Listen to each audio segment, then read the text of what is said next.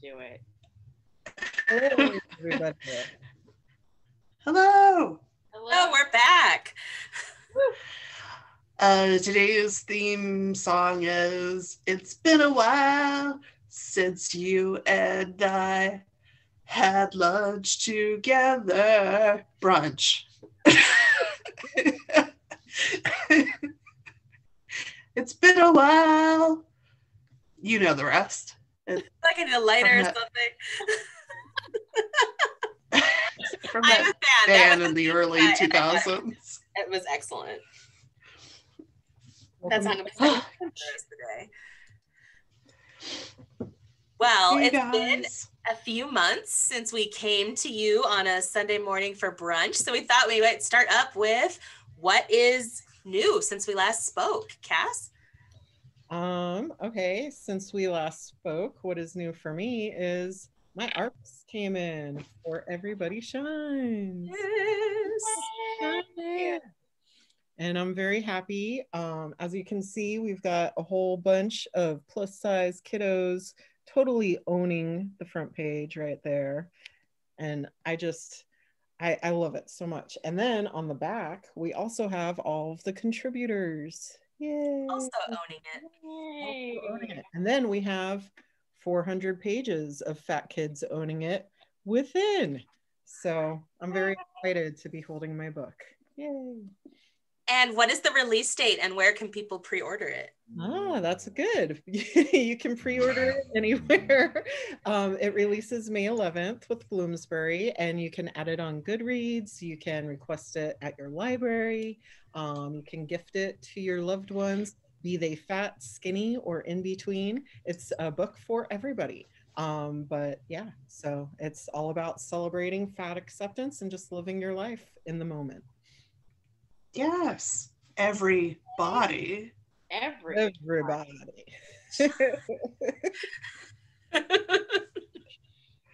Taj, how about you? Uh, that's a great question. Not much. No, I'm like, for me, um, it's like everything is happening, but it's happening behind the scenes right now. So it's like I'm still in edits for book one. I'm actually drafting book two. We're talking about which proposals we're going to submit for option, like all of the kind of back end things that people don't really get to see. Um, and so I'm working on that mostly right now. I'm still also working with my lovely mentee from Pitch Wars. And so we're going to get her out in front of agents very soon. Nice.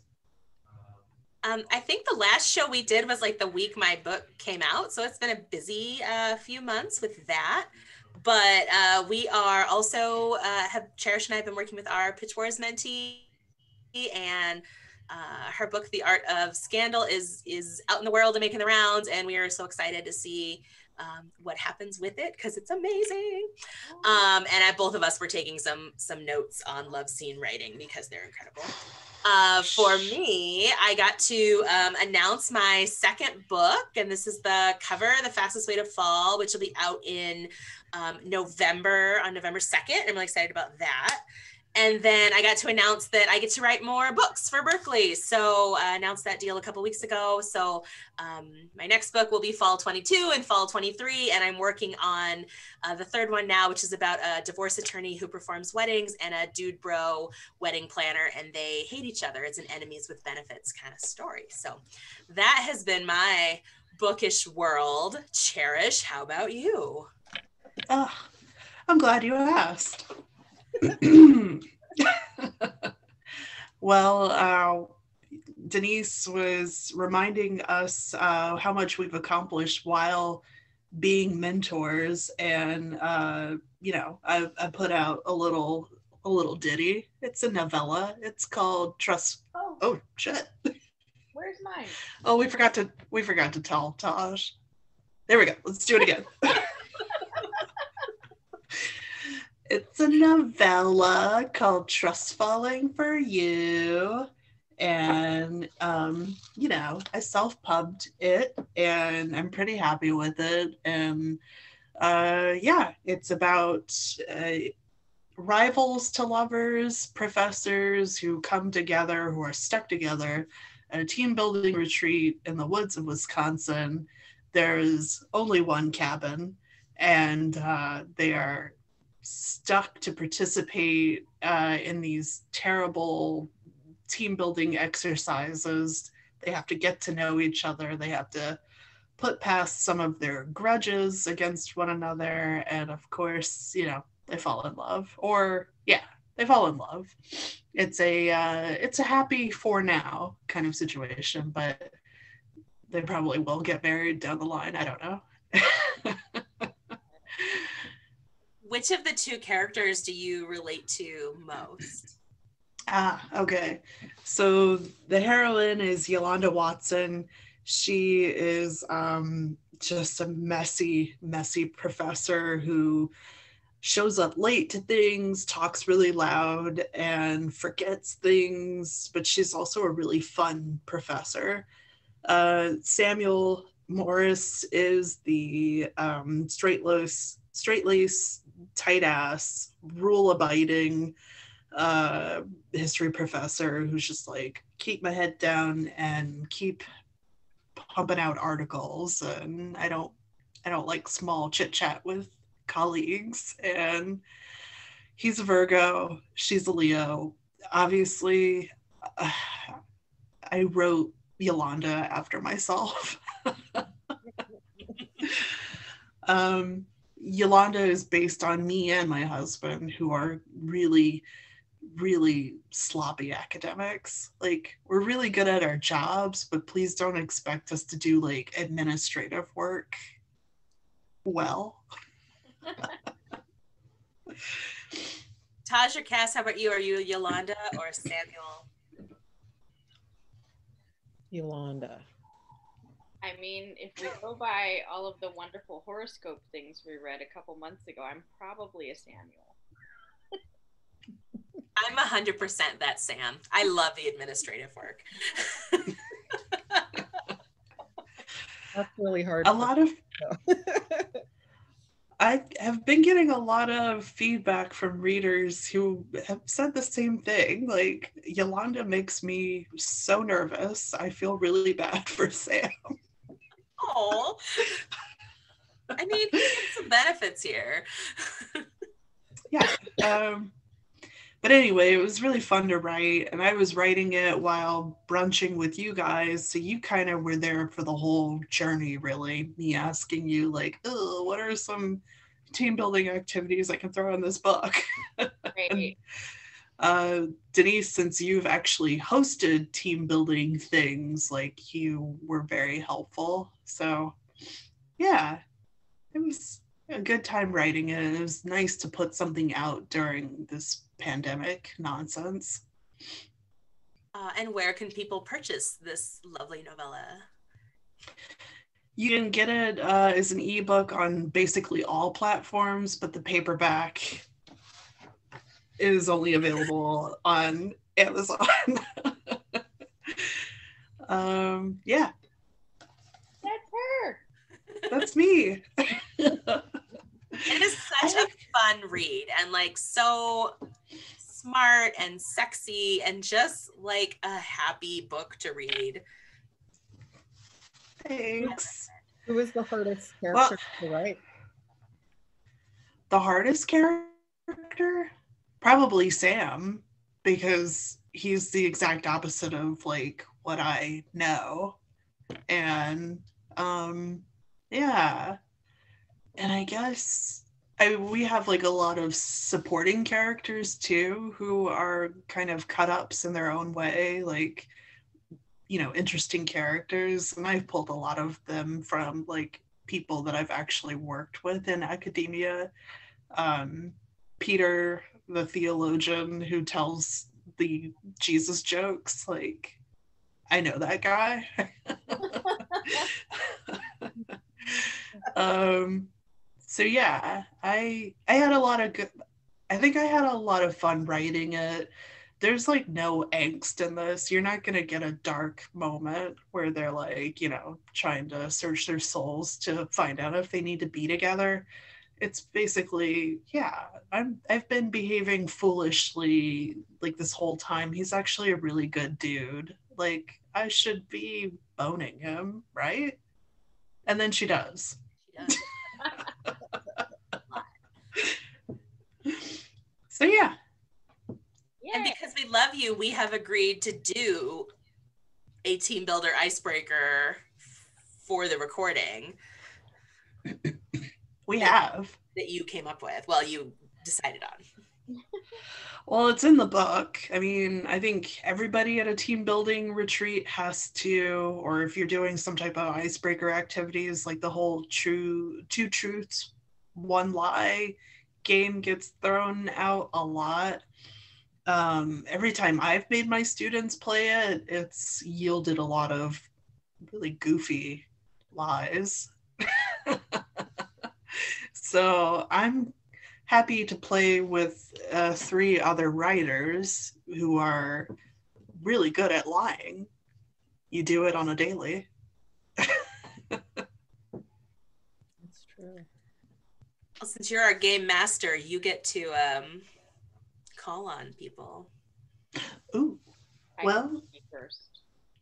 what's up? I cannot be first. Fair enough. Uh, I will go with Cass. Okay. Let's see. My first truth is um I've won over $30,000 playing poker in my poker career. Um my second truth would be I've kissed an alligator on the nose. And my third truth would be I have moved over 32 times. Ooh, these are all good. I'm gonna guess. Oh, Because you are a former Floridian. Mhm. So the alligator thing is plausible for sure. But you're also a champion poker player. I'm going to go with three. I'm gonna go with poker, and maybe it's just slightly less than the number you said. I think you. I think it's not 32. You two are correct. I've only moved 27 times, but I have you know, on the nose, and I have won over $30,000 in poker since I've been playing. Okay. Jesus, that's a lot of money. Okay. I won't say how much I've lost, but I have won over 30. well, that's gambling. You're going to win some, you're going to lose some. Yeah. But yeah, I counted it up and it's only been 27 times of moving. Good Lord.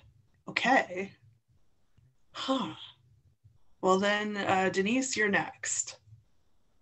Uh, yeah, my three. I married my best friend.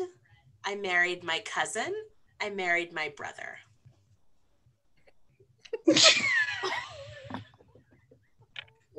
Oh, this is upsetting. Only one of those things is a lie.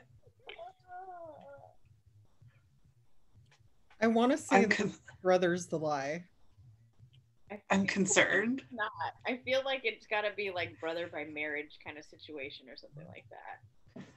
Hmm. Well, you obviously married your best friend. I mean, he's grown to be your best friend, at least. This is totally like that I'm my own grandpa situation. And I don't really. So candidly, Uh. since I do these so often, this is my go-to uh, for this game. Rightfully. yeah, it's a good, yeah, good one. Um, okay, I'm gonna go with the cousin. Yeah. It is the cousin, is the lie. So I am, um, I can perform weddings. So I performed my brother's wedding. So I married him and his wife. I married um, my best friend and his wife. And actually, I guess technically I've married a cousin, but it was my husband's cousin, so I think that's still fine. So I've done um, nine weddings, I think. All my couples are still together, so I have a pretty good track record. Um, and that's kind of the that's kind of where I got the idea for the book I'm working on now. But yeah, so I performed my brother's wedding and my best friend's wedding before he went to Iraq um, years and years ago, and yeah, It's That's a little bit of- wordplay. You got us. tricky, tricky. Uh, Damn it. But t- uh, Parrish's face when I was listing those. what in the what? Okay. Uh, Taj, would you like to go last? I think I can go. None of these really work together, so it'll be interesting to see what people choose. Okay. um, I've never taken a cooking class. I once pumped gas next to Debbie Allen.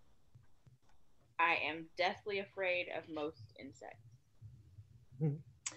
Okay, well, the third is definitely true. It's definitely, Third is true. Um, definitely afraid to the point where I do like the the like running in place, high pitch, like I'm gonna say the second one is the lie. I'm gonna say not taking a. Yeah, yeah. yeah, Hmm, that's a hard. Oh, I'm going to say you have taken a cooking class, and it was probably just one because you were like, fuck this. I'm really good at this. I don't need to take any more. everybody's final answers in Cass.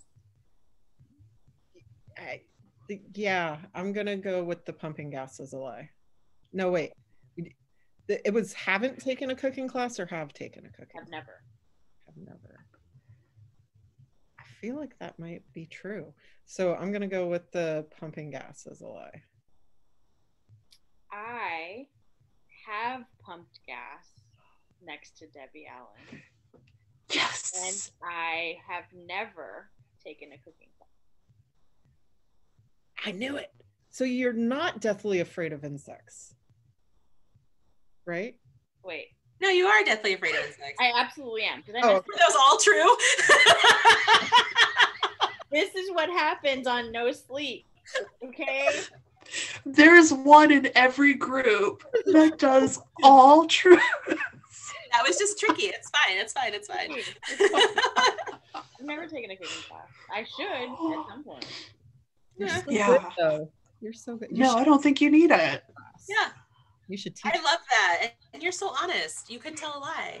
I have a hard time with it. Like literally, I was sitting here writing stuff down because I was like, I have to think of a lie. What's a lie? Well, you did the big reveal, and all of our faces were like, "Wait, what?"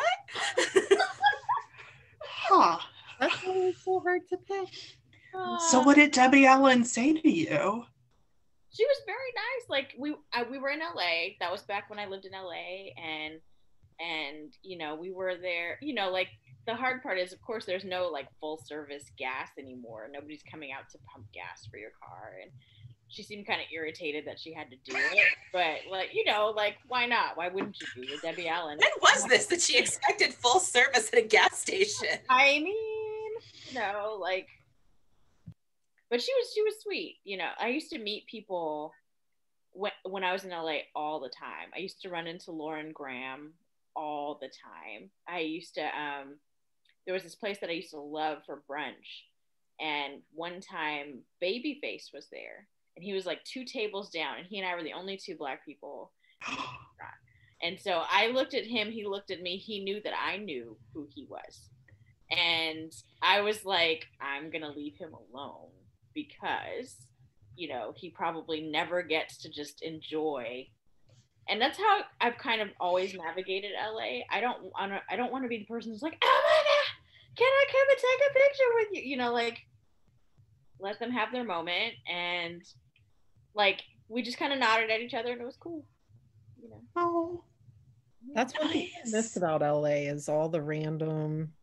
Gordon Random. Ramsay stood Yeah. next to me waiting in line at the restroom at the SLS restaurant, and all these people were coming up to him. And he came, I was leaning up, up against the wall because Jamie, my sister, was in the bathroom, and he's like leaned up right next to me. And I was like, It's Gordon Ramsay. I'm not going to say anything, but Right. I was excited. That's great. Yeah, I was at I was in a mall ordering like my favorite fries at this one mall and the person next to me was this super tall guy and he ordered like a triple chili cheeseburger. And so I kind of like looked at him like, "Damn, do you need all of that?" And so I'm looking at him and I look up and it's Brian McKnight. randomly at the mall getting a triple cheeseburger. Um, but yeah, I used to run into people. I ran into um, Tisha Campbell in the deli section of a Gelson's market. Um, I ran into Martin Lawrence at a basketball game, and that got weird. Um, Did he have a puppet on his hand? he did not have a puppet, but he was acting like someone else. It was it was a very it, yeah. I'll tell you guys offline. But anyway, um, but yeah, all kinds of people. Like it was it was nonstop, just being in LA. Like couldn't. oh, that's so cool. It's so weird you don't run into anybody in Des Moines. When I lived in No. DC, I did run into one of the Real Housewives of Potomac at a restaurant. Which one? Yeah, Gizelle. of course it was Gizelle. Yes. She looks really good in person. I really bet. Uh, Cherish, how about you? Okay. Okay. Let's see. do better than I did because clearly I don't listen to the It's in the name. Um, let's see. Um, huh.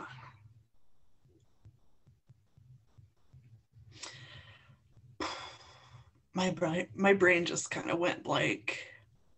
I think I had something and then I lost it. Uh, okay, so all right. Um, I have karaokeed in four different countries. I once broke up a bar fight, and I have a black belt in Taekwondo. Hmm.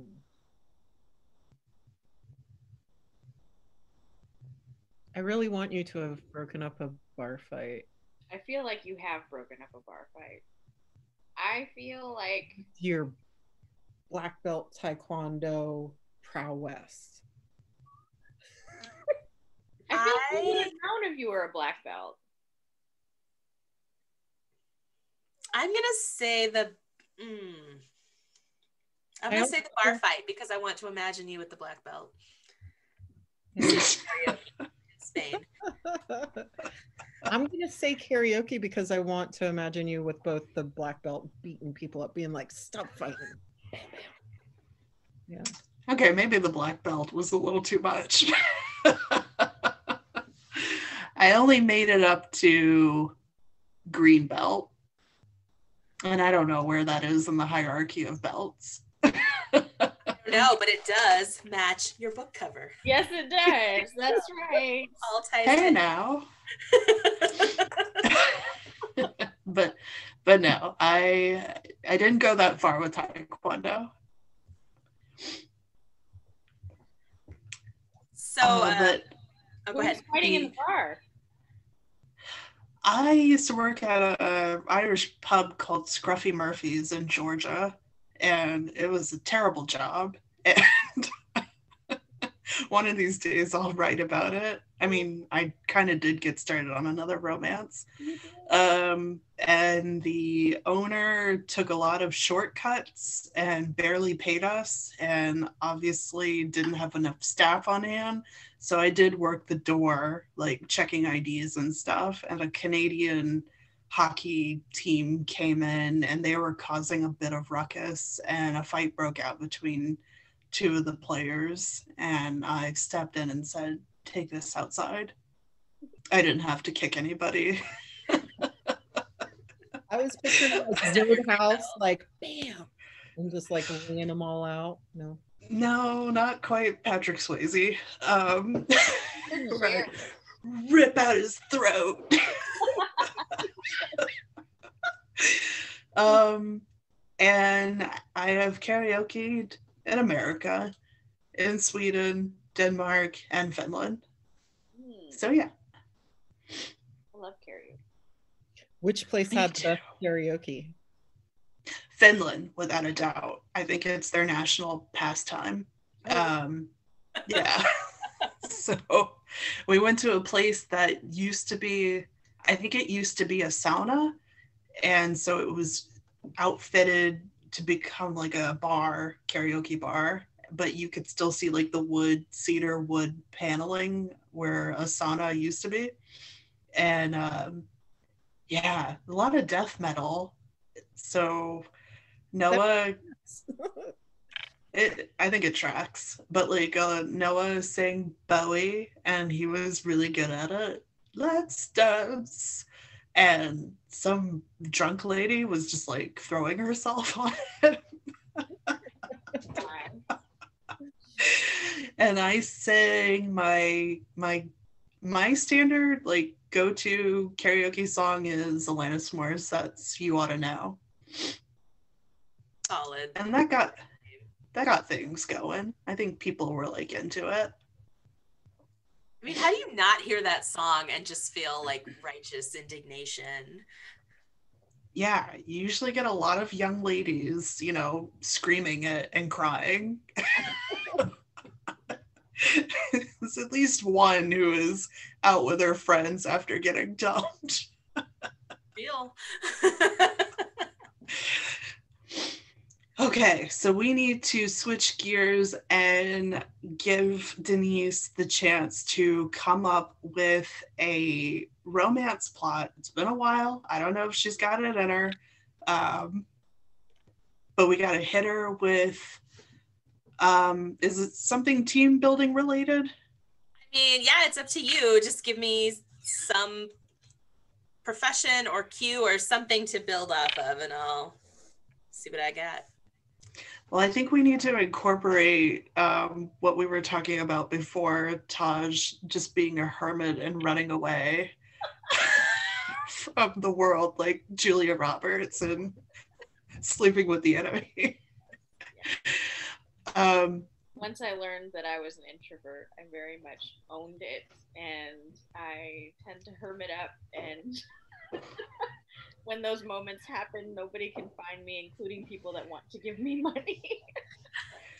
this bitch is not opening her mail and people are sending her money. it's true. It's true. For years, apparently. So have we have we done a hermit before? think so. Uh, yeah, I've we've done some some hermits, but I can do another. Have we done a former postal worker? Uh, I don't think so. Okay, got it. Postal worker and a recluse. Uh, yeah. So our our hero is Joe Top Post, who is a uh, grizzled postal employee who has risen through the ranks, um, and is is set to be postmaster general. Really going to shake things up. Uh, but Joe Top Post has seen some things.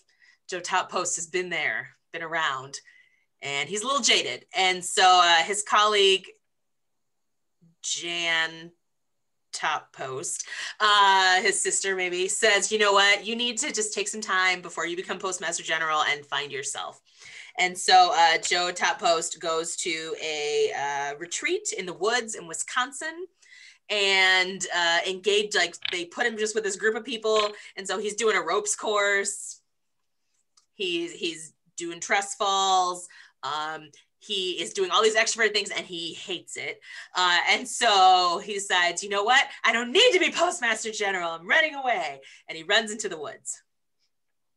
Presumably never to be seen again. But while wandering through the woods, uh, like um, uh, Little Red Riding Hood style, um, he um, stumbles upon this cabin and he notices the mailbox is full, like overflowing with mail. And so he's like, I'm a post, you know, postal employee. This is this is troubling. So like knocks on the door and the person peeks out and he can't see who they are. And they're like, hey, you have a lot of mail. Do you want me to bring it up to you? And the person's like, yes. They kind of growl it. Um, and then he brings the post. And when the person opens the door, it's this stunning um, woman. Shared use Jan. Uh, Jane Top Permit. And Jane Top Permit, Top Permit.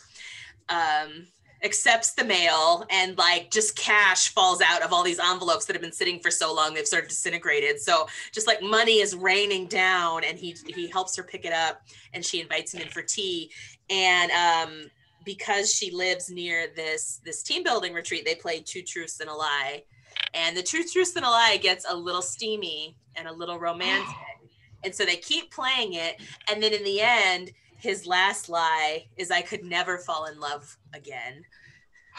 But that's the lie because he's fallen in love with her. And then he decides, I'm ready. I'm ready to become the postmaster general. And she decides she's ready to open up all her mail. And when she does, she finds billions of dollars just waiting in checks and cash and diamonds. And um, then they live happily ever after. And that's that's the story of Taj, aka Jane the Hermit, and Joe Top Post. Brava. Stunning. So our And I think there's just to find there's a lesson to be learned there. Taj, open your mail. I know. Yeah, check your mail. No, I don't know what it is. Checking my mail and and doing dishes are my least favorite things. Like I would rather pack up my entire apartment than do dishes. Yeah, I get that. But there probably won't ever be money in your sink, and there could be money in your mailbox. Well, and none of this money was expected. I had no idea any of this was coming to me. So it was just like a lovely, pleasant surprise. I know. When we're off camera, there's a whole other set of questions that we're going to have for you about. I'm here for it. Yeah. But our last bit was just to go around and see what everybody is reading now, or what is, if you're not reading now, what's kind of at the top of your um, to read list. Yeah. Money Um, Penny, you want to go first? is that Taj? Yeah. um, well, I'm kind of in a holding pattern when it comes to reading because I'm both editing one book, so I'm in one main character's mind, and I'm also drafting another one. So I'm trying to like not influence um, my writing at all with with other stuff. So I'm halfway through. Like, and the funny thing is, we've done things where we were talking about what we've been reading, and I've said this before on a different episode, which was months ago. Like, I started Catherine Adel West's Saving Ruby King months ago, and then I had to put it on hold because of all of my book stuff. Um, but I'm like halfway through that. It's so so good. I've already guessed the ending. I, I feel a way about it. Um, but also, this is on my list, as are several other wonderful, wonderful. I have like this huge pile that's just growing because I can't stop myself from ordering more books. Oh, good luck. Yeah, You've got a lot. I do.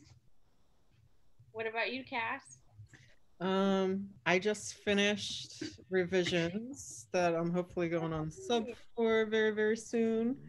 And um, so my two that I am hoping to start shortly is um the gilded ones because I heard amazing, amazing things about this.